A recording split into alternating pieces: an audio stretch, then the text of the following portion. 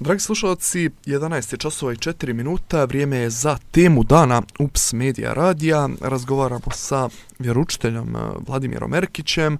Pomaže Bog, dobro vam došli. Bog vam pomagao i hvala na pozivu. Vladimire, eh, tema današnjeg razgovora je Božić eh, koji je za dva dana, pa recite nam malo o istorijatu praznika Božića. Da. Tajna na tajnama rođenje Bogomladenca Isusa Hrista.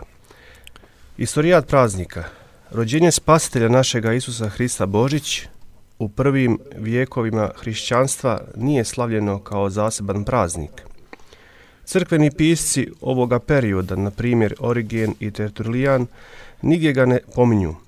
Od trećeg vijeka razvija se praznik bogojavljenje, to jest Epifanija, u okviru kojega su slavljene projave božanske sile Hristove u svijetu.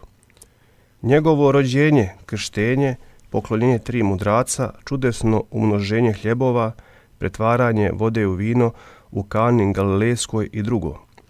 Bogojavljanje se tada slavilo 6. januara. Na istoku slavljenje Božića vjerovatno je prvi uveo sveti Vasilije Veliki u Kapadokiji.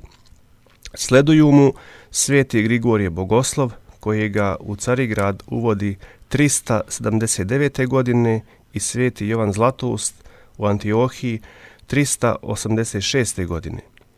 Tokom 5. vijeka gotovo sve crkve širom Vaseljene prihvataju slavljenje Božića, od toga vremena na istoku bogojavljenje postaje praznik Hristovoga krštenja. Koja je smisao praznika rođenja Bogomladenca Hrista? Neizrecivi, nespoznatljivi, nevidljivi i neshvatljivi Bog svedržitelj, drugo lice Svete Trojice, postao je čovjek u licu Bogočovjeka Isusa Hrista. Kada je nastupila punoća vremena, radi nas ljudi i radi našega spasenja, siđe on sa nebesa na zemlju. Prihvata Sin Božiji prirodu ljudsku da bi čovjeka ponovo sjedinio sa Bogom. Samo su malobrojni ljudi prepoznali i pozdravili mladenca koji se rodio. I više od toga, za njega čak ne biješe mjesto u domovima ljudskim. I kada pastiri koji čuše pojanje anđeosko dođoše da vide onoga koga je nebo slavilo, oni nađoše dijete gdje leži u stočnim jaslama. Baš onako kako je to mnogo ranije prorekao bogonadahnuti prorok Avakum koji kaže Gospode, čuh riječi tvoju i uplaših se. Između dvije životinje poznaću te. Među životinjama je ležao car nebeski koji dođe da spase svijet jer su ga ljudi potpuno napustili, kao što je gonjen bio mladenac, što ga je Vitlejemu rodi predneporočna djeva. Tako je bila progonjena i danas se goni njegova neporočna nevjesta, sveta crkva. Borba koja je počela u Itlejemu između onoga koji je na zemlju donio nebeski mir i zemni sila zla koji održavaju tamu ovoga vijeka. Vodi se neprekidno i sve jača. Ona se odvija u čitavom svijetu na svakom mjestu. Ona dijeli čovečanstvo, ona razdvaja ljude koji su bili međusobno bliski. Ona se odvija unutar svakoga čovjeka sve dok u njemu konačno pobjedi dobro ili zlo. Recite nešto našim slušalcima e, o Božjoj ljubavi prema čovjeku. Kako je veličanstvena ljubav koju je Bog bogato izlio na nas, pravoslavne hrišćane, posredstvom svetoga pričešća božanskim hljebom, mi ne samo da se sa njim prisnije dotičemo, nego tajanstveno postajemo jedno tijelo i jedan duh sa Hristom. A naziva se sveto pričešće tajnom zato što je ono ne samo tjelesno i vidljivo, nego i nešto duhovno i nepojmivo. Upravo to i kaže gospod. Duh je ono što oživljava, tijelo ne koristi ništa. Jer ako gledamo samo ono što je nesumnjivo i vidljivo, nikakvu korist nećemo steći ako gledamo na duh, to jest predloženi hljeb, posmatramo na duhovan način. Onda ćemo pričestivši se oživiti, zato što je on ne jelo koje prolazi, nego jelo koje ostaje za život vječni. Hljeb istiniti koji silazi sa neba i daje život svijetu, koji ga ne jede neće živiti, a koji ga jede živit će vavijek. Sveto pričešće nas o starih čini novima i od privremenih vječnima.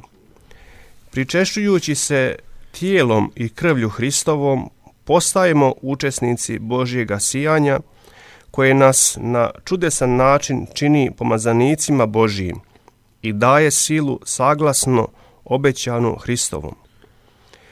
Da bi pri drugom dolasku njegovom zasijamo poput sunca, ukoliko samo nečistota što se nakupila u duši onoga koji pristupa svetoj čaši ne zakloni sobom ovo blistanje.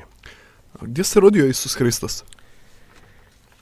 E, blagi Bog, gospod, se rodio među ovcama, kojemu ništa nisu zamjerile, rodio se na mjestu ničijem u pećini hladnoj između grada i sela, između svojina i prisvojnih baština.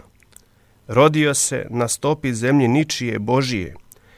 Tu stopu zemlje niko nije iskorišćavao osim ovaca i one sasvim rijetko i ovce mu nisu zamjerile što se rodio kod njih na kamenu zasrtom slamom. Tu pešteru ne ulaze više ovce, beslovesni nego samo slovesni. Tu je sada oltar, mnogo kandila, tu molitve i službe, tu suze i pokajanja, tu olakšanje dušama ljudskim. Svakoga Božića u toj pešteri služi patrijarh Jerusalimski, vrlo svečanu službu Božiju. I ove godine na današnji dan on će služiti i pojati sa sveštenicima i narodom. Rođenje tvoje, Hriste Bože naš, zasija svjetlo u svijetu. Još će se u toj pešteri ponavljati kao uvijek ona anđelska pjesma, koju su angeli pjevali okolo peštere one noći kada se gospod rodio, a ona glasi Slava Bogu na visini, mir na zemlji, dobra volja među ljudima. Kako su običaj kod Srba što se tiče Božića? Običaji kod Srba su sljedeći. Tucin dan. Na dva dana pred Božić, 5. januara je Tucindan, toga dana se redi pečenica za Božić. Nekada se pečenica tukla, zato je ovaj dan nazvan Tucindan, a za pečenicu se obično redi prase ili jagnje. Badnji dan. Dan uoči Božića, 6. januara, zove se Badnji dan. Naziv je dobio po tome jer se toga dana sječe badnjak i unosi u kuću. S ovim danom već počinje Božićno slavlje, ujutru rano, već u zoru odlazi se u šumu po badnjak. Čim svane, loži se vatra i pristavlja se uz nju pečenica.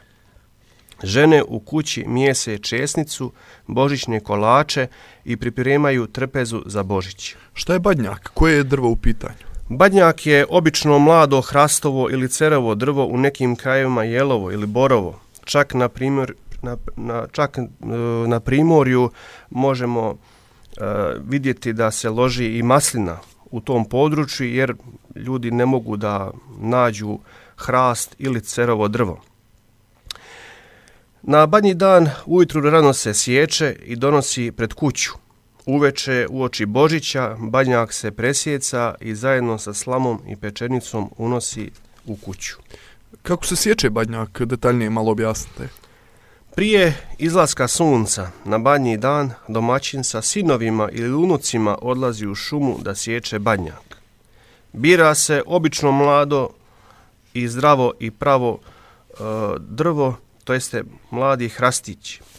Kada odabere odgovarajuće drvo, domaćin se okrene istoku, tri puta se prekrsti, pomene Boga, svoju slavu i sutrašnji praznik, uzima sjekiru u ruku i sječe badnjak. Badnjak se sječe i zasjeca sjekirom u koso, i to sa istočne strane. Po narodnom vjerovanju badnjak se mora posjeći sa tri snažna udarca. Što sjekira od tri puta ne presječe, dovršava se lomljenjem ili uvrtanjem, sukanjem. Taj lomljeni dio na badnjaku zove se brada i poželjno je da bude na svakome badnjaku. Vodi se računa da drvo prilikom pada padne direktno na zemlju, ne smije se dakle zaustaviti na nekom drvetu. Iver o badnjaka se uzima i unosi u kuću. Kada se badnjak donese kući, uspravi se uz kuću i pored ulaznih vrata gdje stoji do uveče. Šta predstavlja badnjak?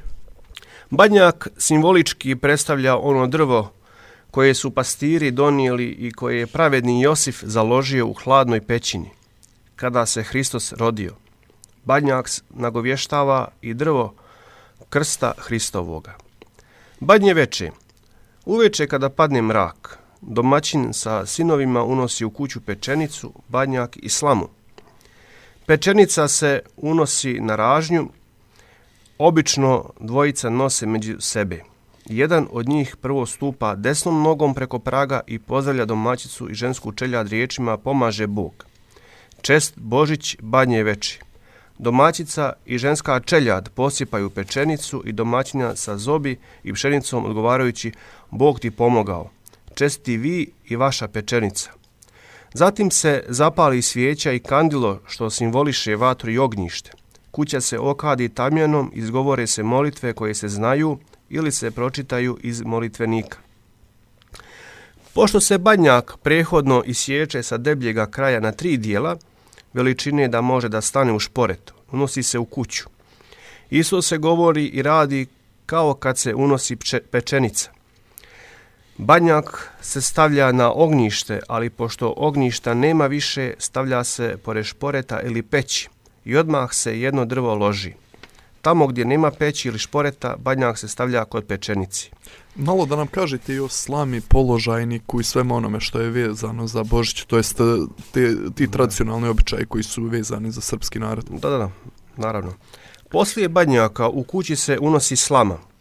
Prilikom unošenja slame domaćin i domaćica govore i postupaju kao kad se unosi badnjak i pečenica. Slama se posipa po cijeloj kući. Domaćica u slamu pod stolom gdje se večera postavlja razne slatkiše, sitne poklone i igračke, koje djeca traže i pijuču kao pilići. Slava simbolizuje onu slamu u pećini na kojoj se Hristos rodio. Položajnik. Na Božić rano prije podne u kuću dolazi specijalni gost, koji se obično dogovori sa domaćinom, a može biti i neki slučajni namjernik – i on se posebno dočekuje u kući i zove se položajnik. U nekim dijelovima naše zemlje kaže se e, položajnik ili polaznik. Položajnik e, pozdravi dom božićnim pozdravom, ljubi se sa ukućanima i odlazi ko šporeta. Otvara vrata na šporetu ili peći. Ranije na ognjištu, džara vatru i govori zdravicu. Koliko varnica, toliko srećica. Koliko varnica, toliko parica. Koliko varnica, toliko u toru ovaca. Koliko varnica, toliko prasadi jaganjaca. Koliko varnica, toliko gusaka i piladi. A najviše zdravlja i viselja, amin Bože daj. Položajnik simbolički predstavlja one mudrace koji su pratili zvijezdu sa istoka i došli novorođenom Hristu na poklonjenje. Domaćica poslije toga posluži položajnika i daruje ga nekim prikladnim poklonom. A, recite nam još nešto evo za kraj prije nego što završimo razgovor o prazniku Božiću. Da. Božić je prvenstveno praznik djeci. Na Božić se rodilo najljepše i najsvetije dijete u istoriji ljudskog roda. Pored praznika djetinaca imamo i materice i oce. Suština života jeste u zajednici, kao što Bog prebiva u tri lica, Otac, Sin i Sveti Duh, to jeste Sveta Trojica. Tako to troje čini stub pravoslavne hrišćanske porodice. Vašim slušalcima želim srećan prestojići badnji dan i Božić, rođenje Bogomladenca Hrista, da u ljubavi Božijoj i porodičnoj slozi dočekaju najredosniji hrišćanski praznik, mir Božiji, Hristos se rodi. Vladimire, hvala vam na odvojenom vremenu i želimo vam srećan predstojeći Božić. Također ja vama želim. Toliko za ovaj dio programa. U temi dana razgovarali smo sa vjeručiteljem Vladimirom Erkićem o predstojećem Božiću, dakle koji pravoslavni vjernici slave za dva dana.